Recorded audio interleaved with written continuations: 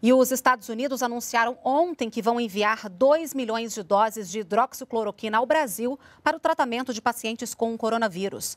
Segundo o Itamaraty, também está prevista para chegar nesta semana o primeiro lote de 500 respiradores de um total de mil equipamentos doados pelo governo americano.